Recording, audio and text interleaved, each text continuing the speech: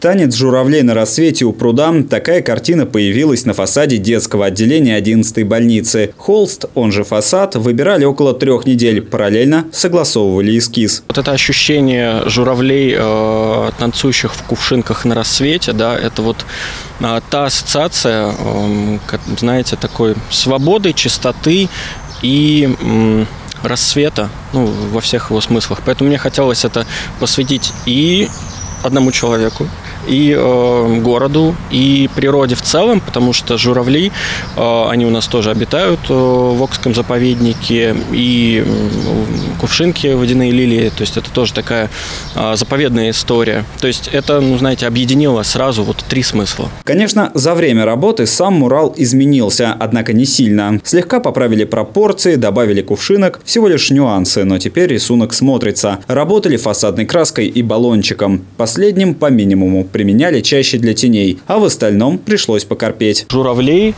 э, сложнее всего, потому что вот эта мелкая детализация на кирпичах, которые тоже разбивают слегка э, всю композицию, вот с ней было сложнее всего, потому что они тоже тонкие, они тоже детализированные.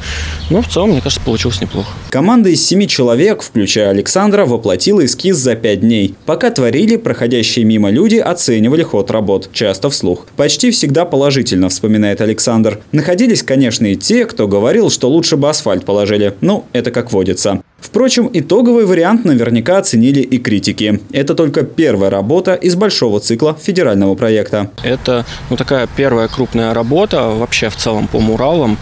И песочней, и спальными районами тоже надо заниматься. То есть это вот для людей здесь, в этом районе, это, ну, мне кажется, отличный такой объект, к которому они тоже могут прийти посмотреть, точка преображения. Я думаю, что это продолжится и не только в центре города. Возможно, и в области у нас тоже есть задумки. Лето только началось, говорит Александр, и параллельных проектов масса, начиная от коммуникационных шкафов и заканчивая росписью отдельных частей города. Но пока Александр попросил сохранить в секрете.